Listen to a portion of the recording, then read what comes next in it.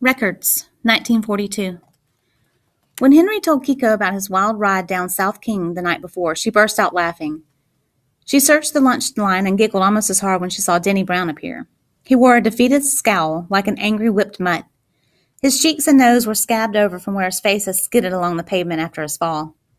Denny disappeared into the herd of hungry kids. They stampeded by, making their normal abnormal faces as Henry and Keiko dished up a gray mess that Mrs. Beatty soberly called spam a la king. The bubbling sauce had a subtle green tint to it, almost metallic in its sheen, glossy like a fish's eyeball. All week long they scraped out the empty steamer trays and dumped the leftovers in the garbage. Mrs. Beatty didn't believe in saving leftovers. Ordinarily, she had Henry and Keiko place the food scraps in separate buckets to be retrieved by local pig farmers, who used the dregs as slop each night. This time, though, the leftovers went in the regular garbage cans. Even pigs have standards. By Monday, lunch was back to the same routine. In the storage room, Henry and Keiko sat on a pair of upturned milk crates, splitting a can of peaches and talking about what had happened at the Black Elks Club the night that Keiko's English teachers had been arrested and how the curfews were affecting everyone. The papers didn't say much. What they did say about the arrest got lost in the big headline of the week that General MacArthur had miraculously escaped the Philippines, proclaiming, I came out of Bataan and I shall return. Buried beneath the news was a small column about the arrest of suspected enemy agents. Maybe that was what Henry's father had been talking about. The conflict that had seemed so far away suddenly felt closer than ever, especially with bullies like Chaz, Carl Parks, and Denny Brown still out there waging war on the playground.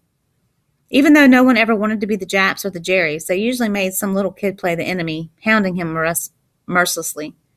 If they ever got tired of it, Henry never saw it.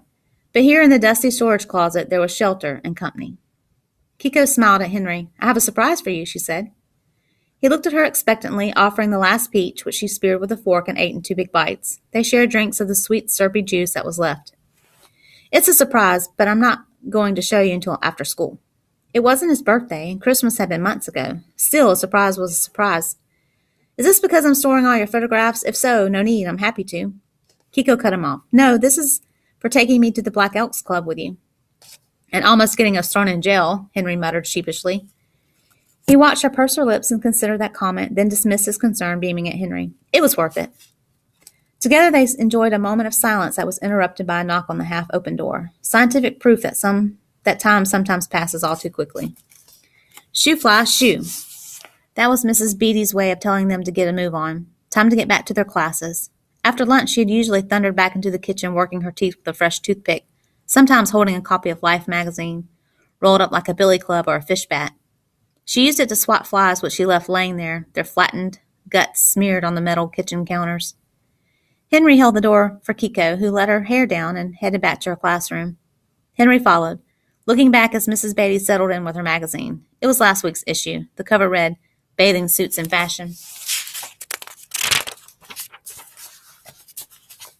After school, they pounded erasers, wiped desks, and mopped the bathrooms. Henry kept asking about Keiko's surprise. She coyly deferred. Later, I'll show you on the way home. Instead of walking south toward Nihonmachi, Keiko, Keiko led them north to the heart of downtown Seattle. Every time Henry asked where they were going, she just pointed to the massive Rhodes department store on Second Avenue.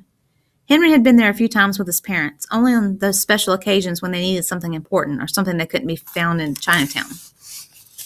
Rhodes was a local favorite. Being in the massive six story building was like taking a life size stroll through the Sears catalog, but with a certain charm and real world grandeur, especially with its massive pipe organ, which was played during lunchtime and dinner, special concerts for hungry shoppers. At least it had been until a few months ago when the organ had been dismantled and moved to the new Civic Ice Arena over on Mercer. Henry followed Keiko to the audio section, a corner on the second floor with cabinet radios and phonographs. There was an aisle with long cedar racks of disc records, which to Henry felt lighter and more fragile than shellac records. Shellac supplies had been limited, apparently, another conscript of the war effort, so vinyl was now being used for the latest hit music like String of Pearls by Glenn Miller and Artie Shaw's Stardust. Henry loved music, but his parents had only an old Victrola. I doubt it even played any of these newer records, Henry thought. Keiko stopped in front of one of the rows of records. Close your eyes, she said, taking Henry's hand and moving them to his face. Henry looked around first, then complied. He felt a little awkward, but covered his eyes anyway, standing in the middle of the record aisle. He heard Keiko shuffling in the racks and couldn't resist peeking through his fingers, watching her from behind for a moment as she flipped through rows of records. He squeezed his eyes shut as she turned them, holding something. Open them. Before his eyes was a shiny vinyl record in a white paper sleeve.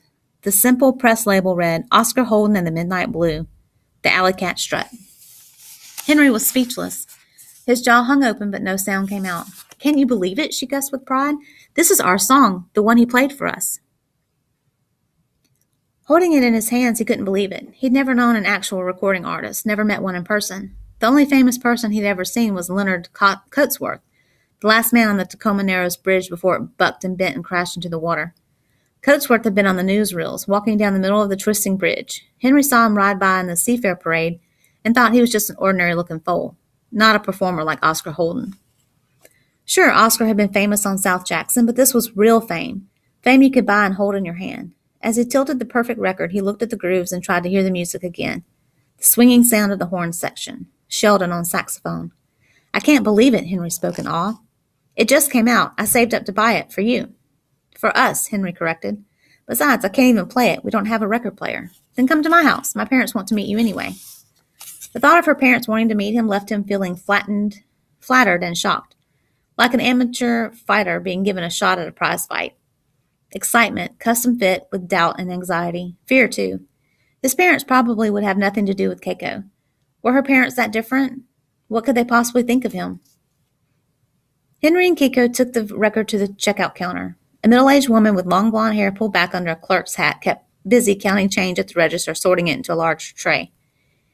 Keiko reached up and set the record on the counter, then opened a small purse and pulled out two dollars, the price of a new record. The blonde kept counting. Patiently, Henry and Keiko waited for the clerk to finish counting what was in her till. She made detailed notations of the amounts, writing on a sheet of paper. While he and Keiko waited, another woman came up behind them, holding a small wind up wall clock. Henry watched in confusion as the clerk took the clock over his and Keiko's heads and rang it up. The clerk took the money and handed the change back and the clock and a large green Rhodes shopping bag. Is this counter open? Keiko asked. The clerk just looked around for another customer. Excuse me, ma'am, I'd like to buy this record, please. Henry was becoming more annoyed than the clerk looked, her hip cocked, her jaw set. She leaned down and whispered to them, Then why don't you go back to your own neighborhood and buy it? Henry had been given dirty looks before, but he'd never experienced something like this. He'd heard about things like this in the South, places like Arkansas or Alabama, but not Seattle, not the Pacific Northwest. The clerk stood there, her fist dug into her hip. We don't serve people like you. Besides, my husband is off fighting. I'll buy it, Henry said, putting his I am Chinese button on the counter next to Keiko's two dollars. I said I'll buy it, please.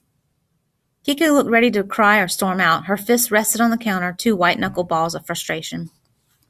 Henry stared at the clerk, who looked confused, then annoyed. She relented, snatching the two dollars and flicking his button to one side. She handed the record to him without a bag or a receipt. Henry insisted on both, afraid she'd yell for store security and report that they'd stolen the record. She scratched a price on a yellow receipt and stamped it paid, shoving it at Henry. He took it, thanking her anyway. He put his button in his pocket along with a slip of paper. Come on, let's go, he said to Keiko. As along, on the long walk home, Keiko stared blankly ahead. The joy of her surprise had popped like a helium balloon, loud and sharp, leaving nothing to hold but a limp string. Still, Henry held the record and tried his best to calm her down. Thank you. This is a wonderful surprise. This is the best present I've ever been given. I don't feel very giving or grateful, just angry. I was born here. I don't even speak Japanese. Still, all these people everywhere I go, they hate me. Henry found a smile and waved the record in front of her, handing it to her. Singing it made her forget. Thank you, she said. She looked at the record as they walked. I guess I'm used to teasing at school. After all, my dad says they're just dumb kids that would pick on weak boys and little girls no matter what part of town they're from.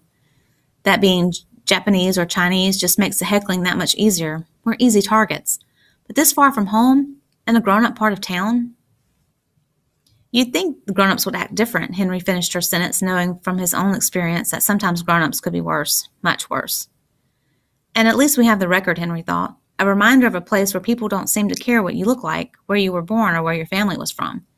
When the music played, it didn't seem to take one lick of difference if your last name was Abernathy or Anjou, Kung or Kubaswasi.